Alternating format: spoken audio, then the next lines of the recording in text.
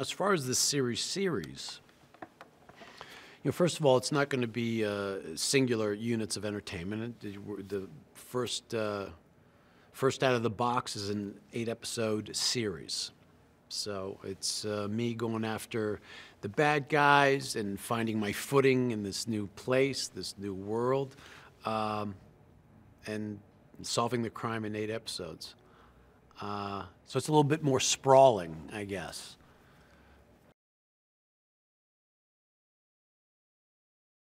Mariska actually educated me to this, and I, don't know when she said it, or you know, maybe it was the second season or the third season or something. But she said something along the lines of, "Don't you get it?"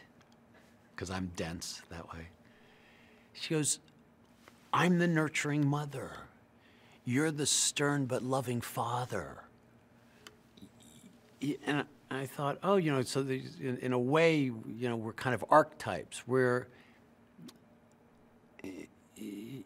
you know, we're the mom and dad that have your best interests at heart and that will protect you and, you know, it was very sweet.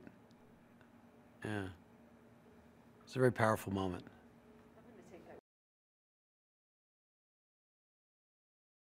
I think this is the beauty and genius of what Wolf does, which is, you know, the whole label ripped from the headlines.